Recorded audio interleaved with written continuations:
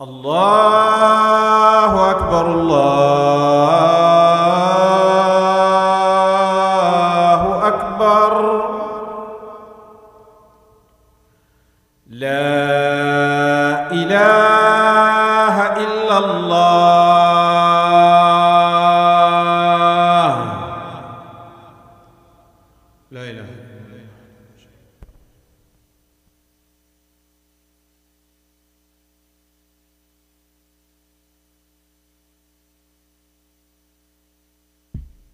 الحمد لله نحمده ونستعينه ونستغفره ونعوذ بالله من شرور أنفسنا ومن سيئات أعمالنا. من يهده الله فلا مضل له ومن يضلله فلا هادي له. وأشهد أن لا إله إلا الله وحده لا شريك له. وأشهد أن محمدا عبده ورسوله صلى الله عليه وعلى آله وأصحابه أجمعين. قال الله تعالى في التنزيل العزيز بعد أن نقول أعوذ بالله من الشيطان الرجيم. يا أيها الذين آمنوا اتقوا الله حق تقاته ولا تموتن إلا وأنتم مسلمون. وقال يا أيها الذين آمنوا اتقوا الله وقولوا قولا سديدا. يصلح لكم أعمالكم ويغفر لكم ذنوبكم. ومن يطع الله ورسوله فقد فاز فوزا عظيما. أما بعد in the last year and a bit, I've seen some of my close friends, uh, people that I care about. One of them, his kidney failed. Another had developed an autoimmune disease, uh, unexpl- just completely out of nowhere, no previous symptoms. Another praying salah in a masjid and just dropped dead. Just heart attack. That was the explanation that we got. It just passed away. And these are all people who are either my age, a little bit older than me, maybe at most someone who's like in their mid 40s. And the diagnosis of these folks is one thing or the other. And I'm not qualified to discuss that. But I was startled by what the doctors told their families and then what their families told me afterwards is that the underlying cause, it seems, for their ailments or their ultimate end here is just a high amount of stress. Just a high amount of stress. I'm not going to talk about stress from a medical perspective. There's people in the audience who can who have way more qualification to do that. And I don't need to convince you of how this is what's termed as the silent killer stress. But I can tell you, I've seen it in my personal life. People that I care for, people that I loved, and I do love still, getting extremely sick or passing away. And one of the possible causes and the thing that unites all of their cases is an Uh, an, an amount of stress in their life that's too much. And if you zoom out and you look at their lives, you're like, this is person has a good life. He has a house, he has a car, he's got kids. What's there to be stressed about? What's there to be stressed about? But the details are where the stress is. The worries that we have is where the stress lies in. And sometimes our minds will go in a direction uncontrollable direction of worry. And it becomes the norm. We accept that as the norm and happens often to middle aged men more than any other demographic, middle aged men particularly. Because our worries perhaps are a lot. But I want to talk about this from an Islamic perspective, a spiritual perspective. Our deen has the answers for our salvation in the next life and our goodness in this life. رَبَّنَا آتِنَا فِي الدُّنْيَا حَسَنَةً وَفِي الْآخِرَةِ حَسَنَةً Best in this life, the best in the next life, وَقِنَا عَذَابَ النَّارِ And the ultimate success to be delivered from the fire of hell. I want to speak about this as from the sunnah of the Prophet ﷺ. The Messenger of Allah ﷺ uses the expression of hum. Hum is uh, grief. Hum is something that's described as hamma yahimmu, uh, is described as something that uh, overpowers a person. It, you know, is something that worries them. That's similar to what would cause a person to be stressed out. They're worried about something that they cannot control. And I want to address this from a spiritual perspective. This is not a doctor's advice. You, if you are experiencing symptoms, if you have uh, problems that are uh, medical in nature, you should go and seek help medically. And that's physical, mental, uh, physical help and mental health, both aspects. But there's a spiritual aspect that we also believe affects our overall life, and I want to speak about that a little bit. And I'll focus what we can do on an expression that our Messenger of Allah had taught us. Uh, a jumla, one expression that he taught us that is very powerful. And I, before this khutbah, I tried to, to implement this in my life for a couple of weeks before I did this khutbah today. And I can tell you, you don't have to, you know, believe it from me, but I know it works. I can sense it. I have felt it. Inshallah, I encourage you to do the same thing as well. Uh, ورد عن عن النبي صلى الله عليه وسلم فيما رواه أبو داود وآخرون أن النبي صلى الله عليه وسلم قال من قال حين يصبح وحين يمسي حسبي الله لا إله إلا هو عليه توكلت وهو رب العرش العظيم. سبع مرات كفاه الله تعالى ما أهمه من أمر الدنيا والآخرة. وصحح إسناده شعيب الأرناؤوط رحمه الله بتحقيق زاد المعاد. This is a hadith that's mentioned in Abu Dawud, the connection of Abu Dawud and other books of hadith. Uh, it is a hadith that's been authenticated uh, by uh, Sheikh Shu'aib al-Arnaut and others have commented on the authenticity of it. That's not the important part. The important part is that th- this is a legitimate hadith. And the statement goes as follows. The Messenger of Allah says that the person who says seven times in the morning, and seven times in the evening the following statement Allah subhanahu wa ta'ala will take care of what worries them in this life and the next. What is the statement? Hasbi Allahu la ilaha illahu. Alayhi tawakkaltu wa huwa rabbul arshil azim. Allah is enough for me. Hasbi Allah. La ilaha illahu. He is the only one truly worthy of worship no one else is worthy of worship but Allah subhanahu wa ta'ala. Alayhi tawakkaltu. Exclusively, I trust Him. And He is the Lord. وَهُوَ رَبُّ الْعَرْشِ الْعَظِيمِ The Lord of the great throne.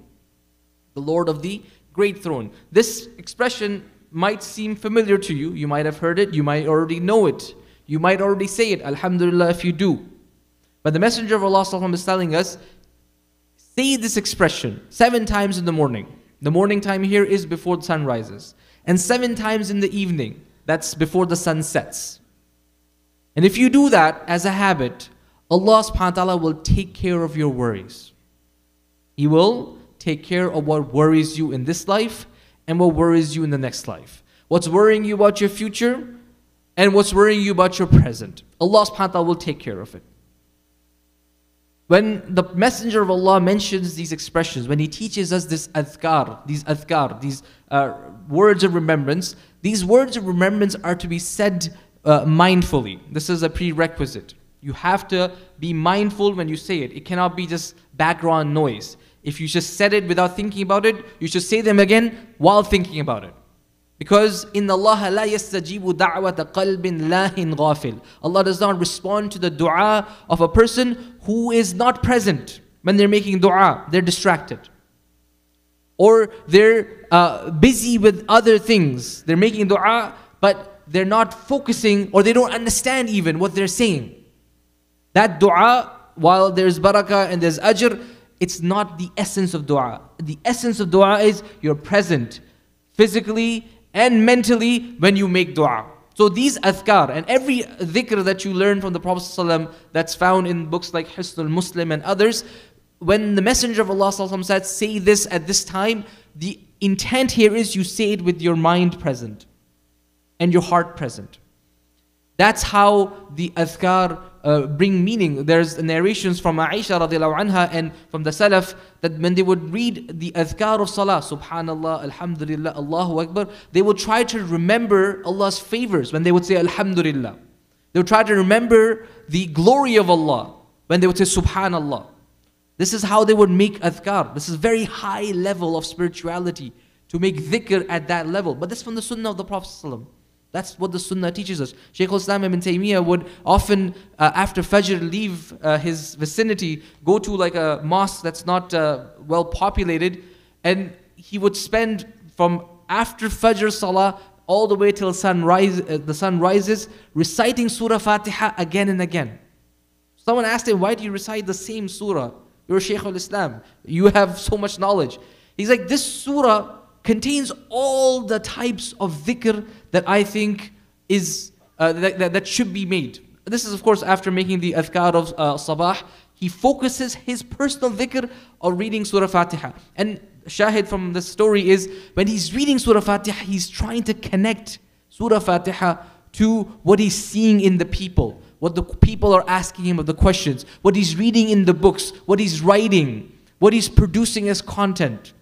You see, the point is the dhikr, as simple as Surah Fatiha that all of us know, that all of us read. When he was reading it, he would read it mindfully, try to connect it to his circumstances. When he was in prison, rahimahullah, he said, now there is parts of the Quran that Allah subhanahu wa ta'ala has opened upon me that I wish I had, it had been opened upon me when I was not in prison. Meaning he has time to focus and ponder and think and then the same words that are said without thinking, when they're said with thought and mindfulness, they have a more profound meaning. That's the idea here. So when we make dhikr, when we make dhikr, we make dhikr mindfully. So when we say Hasbi Allahu la ilaha illahu, Allah is enough for us. We try to conceptualize that.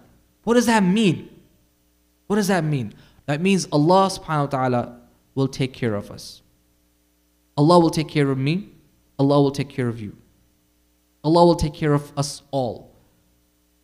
He is, as the Messenger of Allah says, uh, you know, لو توكلتم uh, uh, لو أنكم لو أنكم توكلت لو أنكم تتوكلون على الله حق توكله لرزقكم الله ولرزقكم كما يرزق الطير تغدو خماصا وتروح بطانا He says if you were to only trust Allah fully as He is supposed to be trusted if you were to you know stop worrying about things you don't control and leave them in the hands of Allah you would become like the birds you will leave in the morning empty stomach and return with full bellies the idea of tawakkul here is not that we sit on our hands and say, inshallah, everything will be fine. That's not, anybody has, no one in the history of Islam has ever said that. Everyone who talks about tawakkul, Al-Qurtubi for example says, At-tawakkul yaqumu ala um, ruknain. There's two parts of tawakkul. Part number one, i'timad al-qalbi ala Allah. It's, the heart is reliant on Allah.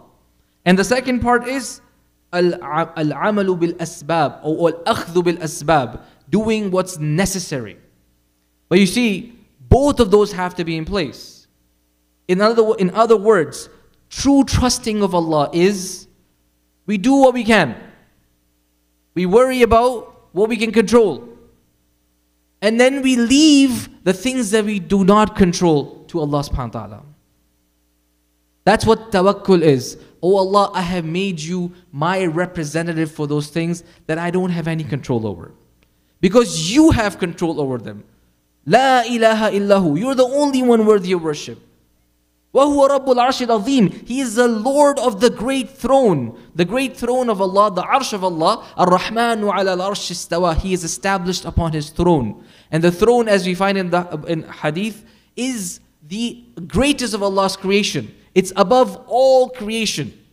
He is the Lord of this great throne, the greatest of all creation. He can most definitely take care of the rest of us. He's most definitely able to and capable of taking care the rest of us. We have to trust him. Alayhi tawakkaltu. This is the part, leaving the things that we don't control in the hands of Allah. Focusing on what we control, that is the essence of tawakkul. The Messenger of Allah sallallahu said that if you were able to say this expression seven times in the morning, seven times in the evening, Allah will take care of what is bothering you. Your worries in this life, your worries in the next life. He will take care of it. These, this expression said seven times is a reminder. You wake up in the morning, it reminds you of your priorities. Allah is in control. Let me focus on what I have to do. Let me focus on what I can influence. In the evening, as we're winding up our day, reminder again. Mindfully, we, see that, we say these words. And again, we go to bed or we go home. This peace of mind. Allah is in control. Let me focus on what I can do. Let me worry about what I have in front of me. Allah is in control of the rest. It's a beautiful, liberating mindset. And this is one example of what we could do uh, spiritually to manage the difficult stress that we deal with. Even if we have luxurious, privileged lives, people, as I mentioned in my introduction, who lived or live luxurious, privileged lives close to me, all are suffering because of this underlying stress. And but this dhikr, this beautiful way of looking at the world, is a spiritual remedy to that. أقول ما تسمعون واستغفر الله لي ولكم فاستغفروه إنه هو الغفور الرحيم.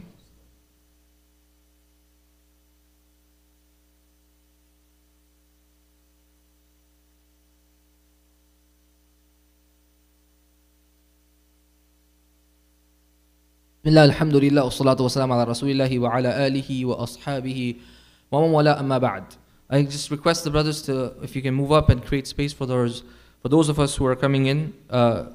تفسحوا في المجالس يفسح الله لكم. May Allah subhanahu make space for you all. Uh, if you make space for your brothers, inshallah.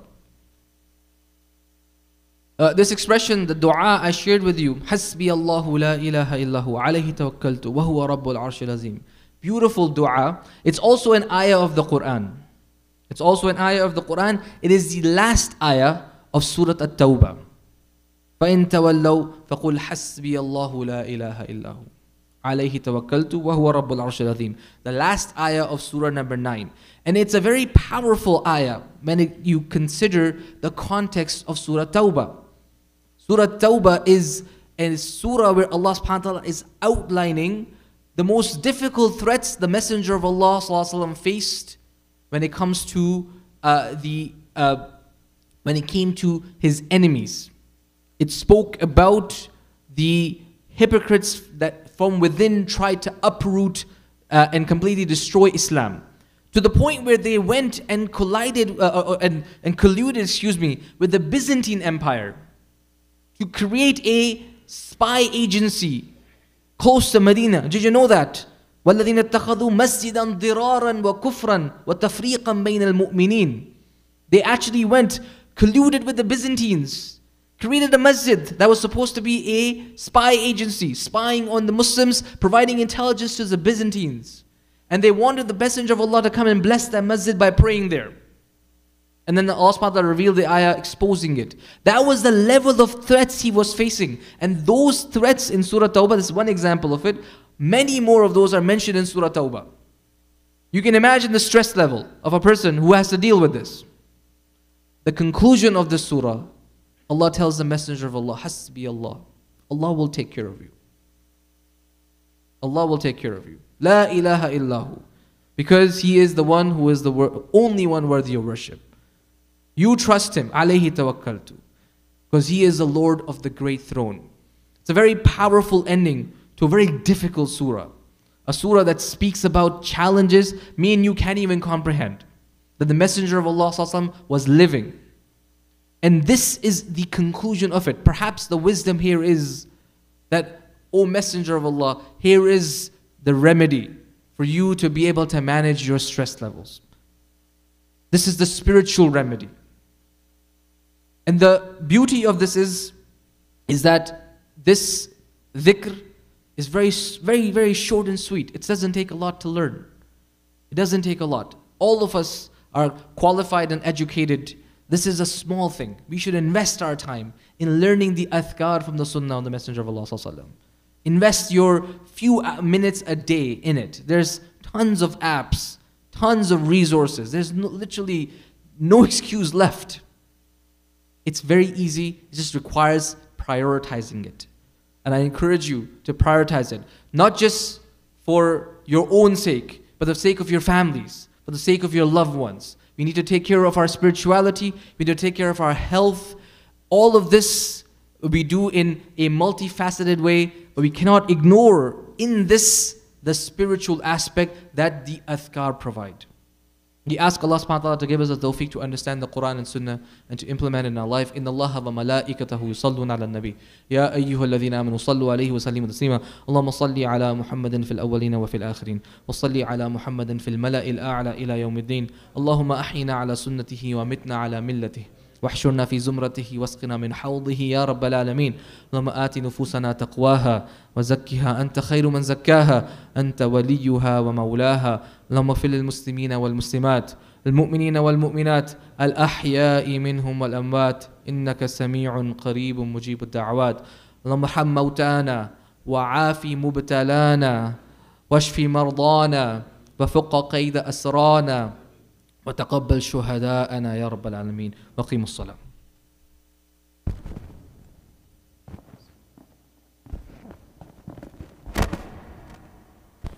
الله أكبر الله